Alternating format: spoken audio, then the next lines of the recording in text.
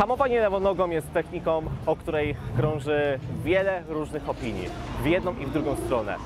Stosunkowo jest to bardzo prosta technika, aczkolwiek jej prawidłowe oraz skuteczne wykonanie jest już bardzo trudne w niektórych przypadkach. Jak prawidłowo wykonać tą technikę, dowiecie się o tym w dzisiejszym filmie. Z tej strony Damian Lempart, zapraszam.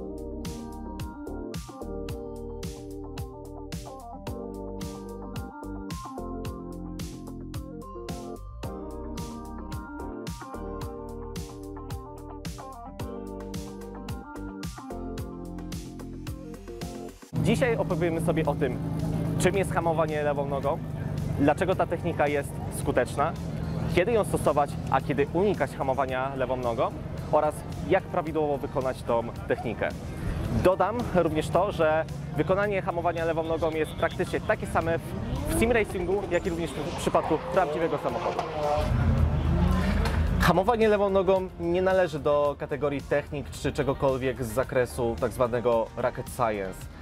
Jest to naprawdę prosta technika, która polega na tym, jej główne założenie e, opiera się o to, żeby skrócić czas e, hamowania poprzez e, całą tą następującą fazę, przez to, że używamy lewej nogi, która jest od razu przygotowana do procesu hamowania, względem prawej nogi, którą musimy przekładać najczęściej z pedału gazu na hamulec i potem zamiennie. Kolejną cechą tej techniki może być m.in. trochę inne, z reguły bardziej dynamiczne operowanie balansem samochodu, gdzie szybciej możemy zmienić położenie tego chwilowego środka ciężkości w naszym samochodzie, aby na przykład wyjść z podsterowności, która objawia się najczęściej przy wysokich prędkościach na torach wyścigowych. Hamowanie lewą nogą często łączy się z tak zwanym trail breakingiem, czyli hamowaniem w zakręcie, które de facto można również wykonywać z hamowaniem prawą nogą, aczkolwiek e, ta technika będzie bardziej szczegółowo omawiana w kolejnym materiale w przyszłości.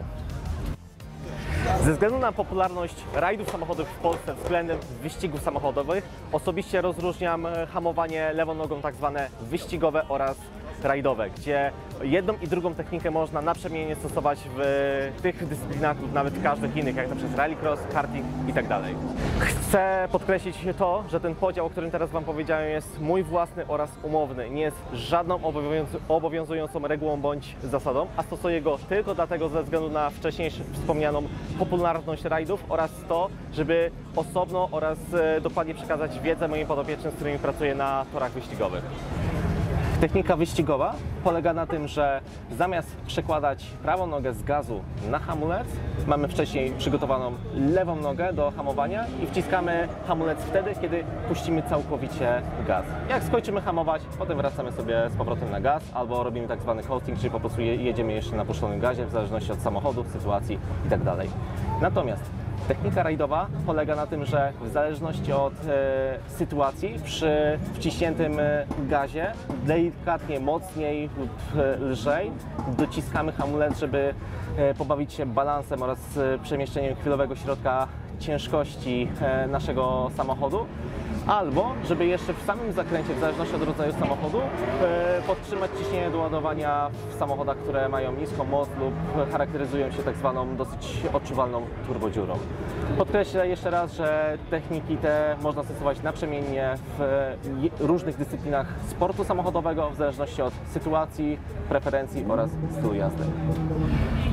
Najważniejszą podstawą e, w tej technice jest to, aby wyrobić sobie jak najlepsze wyczucie w zakresie operowania naszą lewą nogą w połączeniu z poznaniem oraz wyczuciem pełnego zakresu pracy hamulca, nie w sposób zero-jedynkowy, a wykorzystując cały ruch e, naszego hamulca, jaki jest dostępny konstrukcyjnie w naszym samochodzie. Z racji tego, że nasza lewa noga najczęściej jest przyzwyczajona do zero-jedynkowego wciskania sprzęgła, ta technika na początku jest bardzo trudna. Dlatego warto, a w zasadzie należy pamiętać o tym, żebyśmy zapewnili sobie podporę. Tak jak trzymamy sobie delikatnie piętę prawej nogi operując płynnie gazem, na przykład chcemy sobie oszczędzać paliwo i płynnie jeździć, no po prostu żeby zapewnić sobie między innymi komfort jazdy, to samo możemy zrobić w przypadku hamowania lewą nogą. Sami potem zauważycie, że mając podporę w postaci pięty, która jest podparta o podłoże, łatwiej będzie kontrolować nasz zakres e, pracy w połączeniu z poznaniem zakresu pracy samego hamulca, niż jak mielibyśmy wciskać hamulec zero-jedynkowo, tak jak wciskamy sprzęgło z nogą wiszącą w powietrzu. E, Dodam jeszcze taką małą podpowiedź, zwłaszcza dla kierowców amatorskich, którzy nie są wyposażeni w pełen sprzęt oraz rysztunek FIA, że jeżdżąc w tak zwanych sneakersach, czyli butach sportowych, e, które mają miękką podeszwę, jakąś gąbeczkową, poduszkową, jak na przykład Boost czy Flyknit w najpopularniejszych e, markach obu- obuwiowych, mając taką miękką podeszwę, może być prawdopodobnie ciężej wyczuć zakres e, pracy naszego hamulca, a tym bardziej skoordynowanie tego wszystkiego. Dlatego między innymi zaleca się to, aby buty do sportu samochodowego miały w miarę płaską podeszwę. Jak na przykład mamy to w samych butach stricte przeznaczonych właśnie do tych dyscyplin typu właśnie rajdy, wyścigi czy karting. Zastosowanie tej techniki opiera się między innymi o to, e, jaką mamy skrzynię biegów w samochodzie. Czy ona jest półautomatyczna, automatyczna, sekwencyjna, manualna, tradycyjna, czy jakakolwiek inna, czy nawet od samych rozwiązań elektroniki i zabezpieczeń w samochodzie, jak na przykład e, odcięcie wtrysku przy nagłym e, hamowaniu. W przypadku samochodów e, wyposażonych w skrzynie półautomatyczne lub automatyczne różnego rodzaju, niezależnie od tego, czy mamy do dyspozycji dwa bądź trzy pedały. Mam tu na myśli oczywiście pedał sprzęgła jako ten e, trzeci. Jak najbardziej rekomenduję wykorzystanie hamowania lewą nogą ze względu na benefity w postaci skrócenia tego czasu, tego procesu hamowania oraz myślę, że korzystniejsza praca balansem samochodu.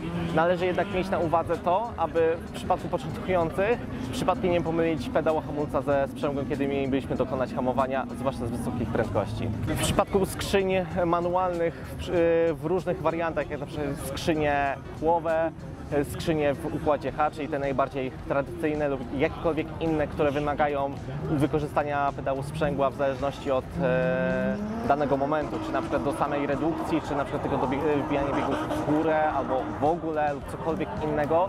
Sprawa opiera się o to, jak bardzo musimy przekładać tą nogę na z, hamulec, z hamulca, przepraszam, na sprzęgło. Inną sprawą jest to, że w niektórych przypadkach, co jest już bardziej zaawansowanym zakresem, można połączyć tradycyjne hamowanie z redukcją biegów oraz hamowanie lewą nogą w miejscach, kiedy nie musimy dokonywać redukcji zmiany biegów. Jednak nie rekomenduję tej techniki w przypadku osób, które dopiero się uczą oraz nie mają aż tak wyrobionej koordynacji ruchowej.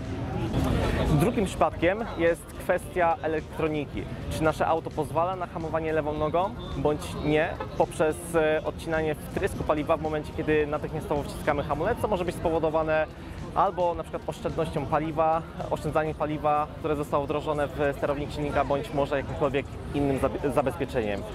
Jeśli coś takiego się dzieje, najczęściej hamowanie lewą nogą w takim samochodzie nie ma tak naprawdę sensu. W przypadku samochodów e, wyczynowych bądź przygotowanych do sportu samochodowego albo typowo sportowych modeli, które nie mają czegoś takiego, jak najbardziej można stosować e, hamowanie lewą nogą. Hamowanie lewą nogą jest techniką, którą można śmiało nauczyć się w, nawet w ruchu drogowym, zachowując bezpieczne oraz zgodne z przepisami e, prędkości. Bo tak naprawdę, żeby wyrobić sobie całą koordynację ruchową w pracy jednej, obydwu nóg oraz pracę balansem naszego ciała oraz własnego samochodu, nie, nie potrzebujemy do tego nadmiernych prędkości. Wystarczy nam względnie pusta droga oraz zachowanie bezpiecznych e, odległości i dystansów pomiędzy innymi, czy nawet wjechanie na najzwyklejszy plac parkingowy, gdzie możemy to przetestować nawet przy 20-30 na godzinę i tak dalej. Benefitem takiego rozwiązania jest to, że nie musimy od razu wjeżdżać na tory wyścigowe, płacić w- wpisowe o kwotach, które są niemałego rzędu, spalać klocki, hamulce, wszystko cokolwiek innego, gdzie możemy śmiało nauczyć się tego nawet na najzwyklejszym placu. Zwłaszcza, że pierwsze hamowania są dosyć brutalne oraz e, dla niektórych w niektórych przypadkach wyrobienie sobie koordynacji ruchowej w połączeniu z wyczuciem tego wszystkiego nie przychodzi tak łatwo, pomimo tego, że samo wykonanie tej techniki naprawdę jest proste. Należy jednak o tym, pamiętać o tym, że hamując lewą nogą bardzo łatwo narazić się na zbyt nadmierne wytrącanie prędkości w zakręcie. Czyli po pierwsze albo będziemy za wolni, albo w drugiej kolejności będziemy myśleli, że mieścimy się w zakręcie z wykorzystaniem lewej nogi, tylko to będzie złudne uczucie, ponieważ wynika to z tego, że za bardzo zwabimy auto. A skoro jedziemy z niższą prędkością, opony są mniej obciążone, więc tym oponom łatwiej jest zmieścić się w zakręcie. Tylko nie wynika to z tego, że lepiej operujemy balansem samochodu, tylko jedziemy wolniej w zakręcie. Dajcie znać w komentarzach, czy stosujecie hamowanie lewą nogą, czy może przymierzacie się do nauki tej techniki, bo jestem bardzo ciekaw, co o tym sądzicie. Do zobaczenia w następnym odcinku. Cześć!